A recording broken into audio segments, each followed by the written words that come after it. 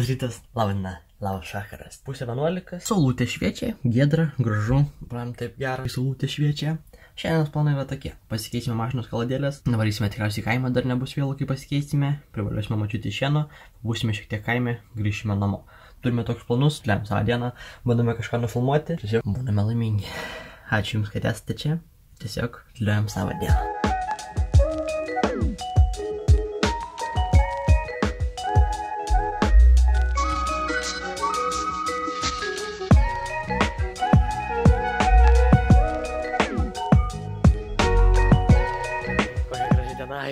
Ta prasme tikrai tokia gera. Pagalvosiu, kaip kalbėjom vakar epizode. Pasnygo prieš porą dienų. Šiandien vėl toks rudeniškas gražus oras, viskas tikrai normaliai. Su tėčiu sustvarkėme pasatą. Vieną dalyką, kurio dar nepasikeitėme, tai yra tepalų filtrą.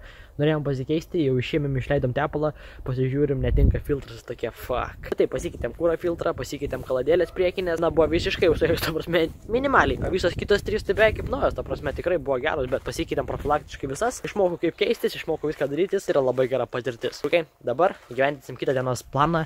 Žiūrėsime dabar į kaimą, tenai padirbėsime, biškai padėsime mačiutį ir tada vėl grįšime namo.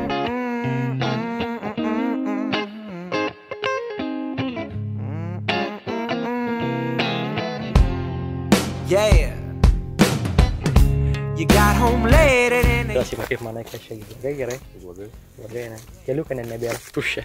Žiūrėk su Honda, kaip linksma būtų važiuoti, ne? Tiesiog važiuojam, važiuojam, važiuojam, važiuojam, važiuojam, taip. Atidariau. Kur čia pas tą dėčytą? Ne, nu. Nenukris, nenukris, visą gyvenimą nenukrit. Jo, dar nulauž. Tai ne, dešimties raktelė dar viskas. Tai atsineš. Tai jau turėjai būti prie traktoriaus svajūrai dabar. Dešimties traktorių nebus. Bagadėlė nebus. Tai... Replis atnešk arba dešimties. Oi, koks tu. Už šešto laiką mane. Turim į kaimą. Nuvaliuojam vieną šitą ruloną. Lam sunkus jisai buvo, tikrai vargom ilgai, kol nuvaliuojam, bet nuvaliuojam. Tada dar du pastatėm, parašėm. Dabar mes va, trėmėm padėjom pagalius karėts, iki paskui jis tenai šitą kažką daryti toliau ir tiek. Tai va. Kodėl būtinai devynių raktelė nėra? no, no, no, no.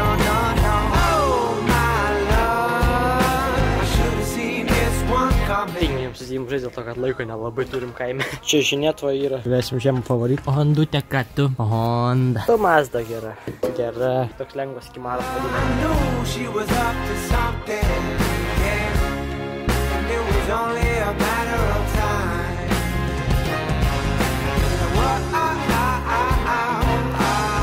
Laukia vėsu kaip. Aiksa. Šiaip varam prie ežero, žiūrim žmonės meškerioja, bet čia kas koks gražus ežeriukas. Šiandien tikrai gražus, ar atrodo tikrai, žiūrėk, žmogus žiūri, kas ateina. Aфигенно, aфигенно. A taip viską padarėm, ten pabandėm su Honda, bet nieko nepadarėm. O kiek pirksim tų mažyčių bagažų? Tūkstantį vieną reikia sudėti ne kartą. Važiuos dar po 30 centą. Ir man atrodo, prispirksim labai daug ir dar labai daug. Žiūrėk, kokia jota.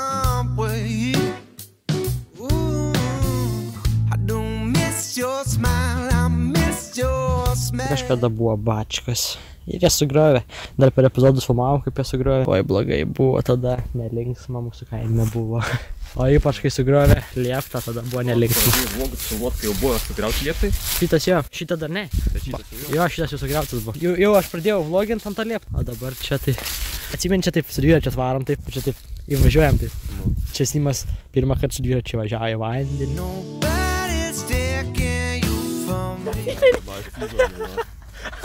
А Хотел ты бомбу от Таркина в Я? От Таркина вдруг побегом, ладно? Tada taip buvo žiauru. Pliam, su, su savo žielę, na. Nu. Atrakinę ir pabėgom, išsikandom. Vakare matos atėjom. Mes taip pagalvojom, kad bus labai blogai. Čia va, kažkas šimtų procentų duodu, kad bandė įsilaužti. Nesagi, ten tie apipurkšti ir girti- grinai bandė įsilaužti, bet nepaėjo. Šiaip žinai, jam nedaug trūko, manyčiau. Reikėjo iškelti ir nuleisti pačion. Atsivenė. O, kas čia? Aivaras? Simas, kažkas dar parašyta. Numeris čia buvo parašytas, atsimeni? Parašytas, nes mes atvarydom prie ežero ir kartais sustikdom tas mergas tokias. Na jo, aišku, jos buvo vyresnės už mumis kokiais 5-6 metais mažiausiai. Tai šitą atvarydom, kartais buvo vazarindavom. Ir taip kažkada mes čia parašėm, taip, duok numerį ant šitos. Tai parašymą matosi, kaip lieka. Ir kitą dieną taip ateinam, ar po kelių dienų ateinam, žiūrim, numeris parašytas ir tokie. Oh, shit. Bet vienas skaičius. Jo, jo, tada vienas skaičius ir kažką tenai padarė, kad niekaip neatspėjom, žodžiu, nepaėjo, tada biški grūzas buvo. Termitas. Kūkais paišasi. Nu, Yra plokštė. nu. Tai tie ratukai, tai jų daug prisiperkė. Ten ta, kas barška, iškratai, į maišiuką sudedė. Čia uždedė. ir padengia. Tas spyną tai paims ir tiesiog sudegs. Tai va, pamatot pamakėlį išgyventi. Bet šiaip tokie čia laikai geri, kad eik savo galvojus. Šitie anksčiau būdavo visą laiką tenai padėti. Ant šitų stalų buvo bairių. Pameni? Taip žiauru. Ir taip parydavom iki vatovo įėjimą. Varinėdavom, varinėdavom ir varinėdavom. Su dviračiais varinėdavom dažnai, kažkom eidavom. Geriau laikai būdavo, tikrai gerai. Bet viskas keičiasi taip stipriai, kad... Ai, ai.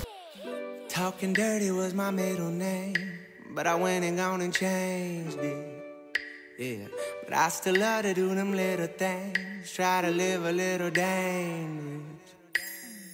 Been on the low, but you know I've been trying to keep it cool. Ain't for sure, just some toes dipping low in the swimming pool. But that's alright.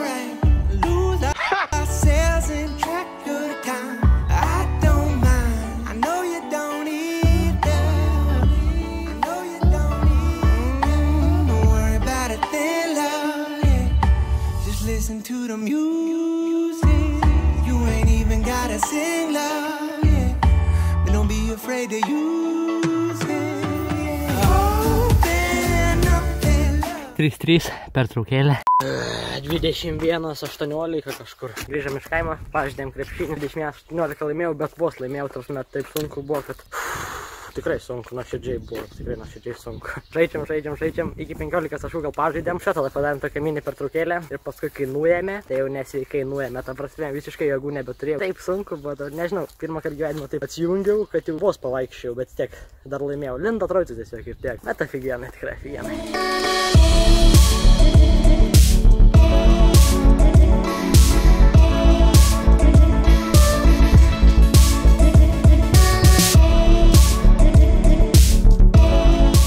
Man patinka realiai sužėlė. Įkabinau ant jų nesveikai, nes anksčiau nelabai valgydavau surelius, bet taip paprastai vieną kitą suvalgiau viskas, bet dabar va, kai ant šitų įkabinau, tai nesveikai. Šiandien tiek, draugai. Ačiū, kad žiūrėjote. Susitiksime rytoj su kita pizdu žinoma, su kitais nuotykiais.